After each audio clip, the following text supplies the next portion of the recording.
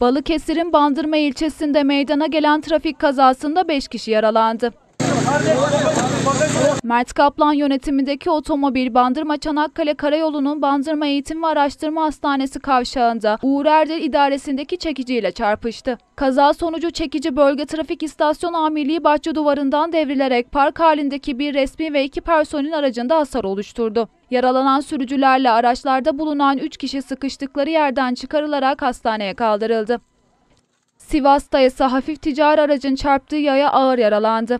Seyir halindeki hafif ticari araç Kayseri Caddesi'nde yolun karşısına geçmeye çalışan 15 yaşındaki yayaya çarptı. Kazada ağır yara alan genç ambulansla hastaneye kaldırıldı. Yurt dışından kente geldiği belirtilen gurbetçi gencin sağlık durumunun ciddiyetini koruduğu kaydedildi.